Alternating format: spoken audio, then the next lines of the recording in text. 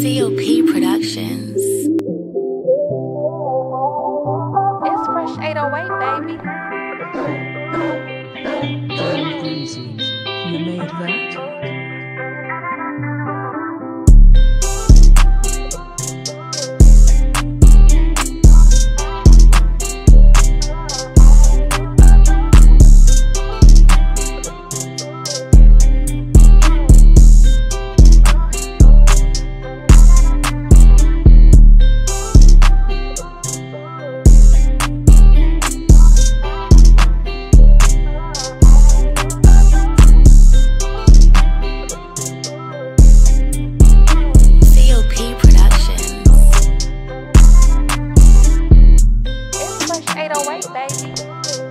Oh.